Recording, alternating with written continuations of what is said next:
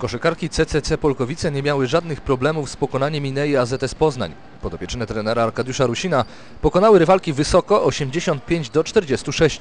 Był to przedostatni mecz rundy zasadniczej Fort Germas Ekstraklasy. W środowym pojedynku po przeciwnych stronach parkietu stanęły zespoły, które mają zupełnie inne cele w obecnym sezonie. Polkowiczanki mierzą w medale, a poznanianki zamierzały zająć miejsce wyższe niż ostatnie, ale już przed pierwszą syreną było jasne, że ta sztuka im się nie uda. Od początku Polkowiczanki dominowały na parkiecie niepodzielnie. Pierwsze punkty zdobyła Jantel Lewander, która trafiła jeden z dwóch rzutów osobistych. Po pięciu minutach Polkowiczanki prowadziły 8 do 2, a po 8 na tablicy świetlnej w Polkowicach widniał wynik 16 do 2 dla CCC. Ostatecznie pierwsza kwarta zakończyła się wygraną gospodyń 19 do 6. W drugiej poznanianki nadal grały ambitnie, ale nie miały zbyt wielu argumentów w rywalizacji z pomarańczowymi, które systematycznie powiększały przewagę. Po 20 minutach CCC prowadziło 37 do 13. Na drugą połowę Polkowiczanki wyszły nieco rozluźnione. Dzięki temu poznanianki nieco zmniejszyły różnicę punktową. Nonszalancja w grze Polkowiczanek nie trwała zbyt długo i mniej więcej od połowy trzeciej kwarty wszystko wróciło do normy. Podopieczne trenera Rusina systematycznie punktowały, powiększając przewagę. Ostatecznie mecz zakończył się wygraną pomarańczowych 85 do 46.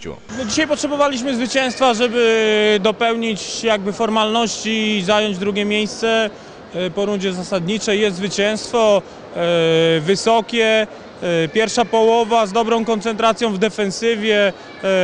Nawet ja jestem zadowolony jak na to, co potrafimy niekiedy się skoncentrować nie do końca dobrze. Dzisiaj była ta koncentracja, może dlatego w trzeciej kwarcie nie do wszystkich rzutów wy- wychodziliśmy z presją.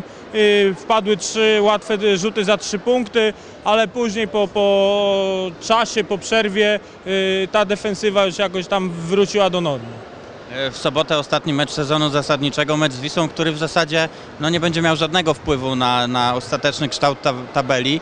E, Czy podejdziecie do niego na 100%, będziecie starać się wygrać, bo to właściwie no, nic, nic wam nie daje, jeżeli czy wygracie, czy przegracie i tak będzie tak jak jest teraz. Przede wszystkim musimy normalnie podejść do meczu, e, starać się zagrać jak najlepszą koszykówkę. To jest ostatni sprawdzian przed playoffami. Po meczu z Wisłą już 3-4 dni gramy pierwszy mecz tutaj u siebie w playoffie, także na pewno nie ma mowy o tym, że podejdziemy do zawodów nie, nie bez należytej koncentracji bez, bez chęci gry na 100%. E, W tej chwili e, tygodniową przerwę ma od meczu z Gdynią e, Szarnizol, tak żeby na playoffy była w dyspozycji już, bo ostatnie mecze z Walencją, bo 40 minut troszkę je kosztowały, dlatego dzisiaj bez, bez Zol, ale jak widać też bez niej poradziliśmy sobie.